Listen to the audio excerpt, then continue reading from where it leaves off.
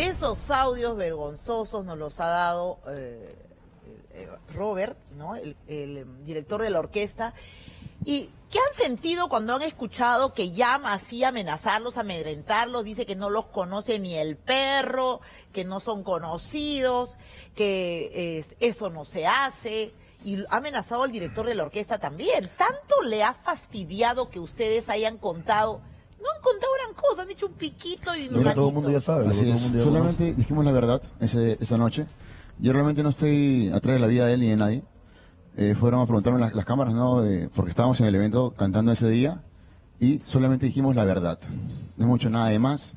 Pero es que a él le molesta la verdad. Él dice, No, y sobre todo- le dice a su director musical que ustedes les debió de prohibir hablar nada. Y ahora él dice que estamos chistosos.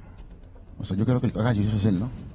Aquí no hay chistoso, acá somos cantantes, somos, tenemos talento, estamos en una orquesta de renombre. No, que los tenemos han Europa. los han Nos ninguneado así. O sea, que falta de respeto realmente. Mira, deja mucho que desear. Jefferson, mira, sinceramente, nosotros lo conocemos muy poco a él y lo que nos sorprende es su actitud matonesca que tiene, ¿no?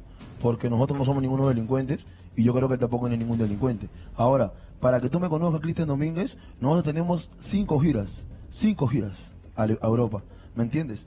Y nosotros nunca hemos tenido un problema con nadie, nunca hemos tenido chismes, solamente hemos contado la verdad nada más, ¿me entiendes? Hemos contado la verdad que todo el mundo ya conoce. Pero es que él lo que quiere es parece que la gente lo alcahuetee. Que Eso es lo sus que colegas artistas se callen la boca de lo que vieron. Pero él dice, él dice, no, yo estoy soltero. Si él dice que está soltero, entonces ¿a qué le teme? Pero claro, si estás soltero puedes hacer de tu vida lo que quieras. Claro. Un carnaval si quieres, salir con cuatro chicas a la vez. Ya, porque estás soltero. Y no te puedes Lo esconder que de pasa nada, que no él sé. acababa de terminar, creo, según él dio a conocer, eh, eso fue un evento, creo que el fin de semana, y él dijo, sí, yo terminé anteayer. Pero nadie es adivino mirándole en la cara. pues. Exactamente, ¿no? Eh, además, eh, ¿por qué hablan de mil videos ustedes? ¿Tienen videos de ese día? Son videos de, la noche que subieron historias, eh, las que estaban ahí, las, las chicas que estaban ahí, los chicos que estaban ahí. Pero fueron videos que estaban, estaba también él, estaba creo que de la mano con ella. Eh, por ahí vi, uno, vi uno que otro.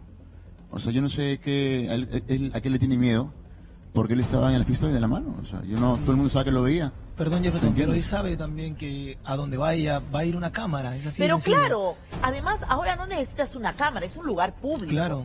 Era, era, es un karaoke. punto. Aparte, si él llega a un evento donde hay un montón de gente que es pública, lógicamente él es público, lo van a, lo van a coger de punto. en- Y además de un todo otro- el mundo un- graba con celular ahora. Y ahora mira, si tú no ¿sabes qué me quieres que sepan que tú estás trampeando o que estás chapando con una chica nueva, cuida las apariencias por lo menos, ¿no?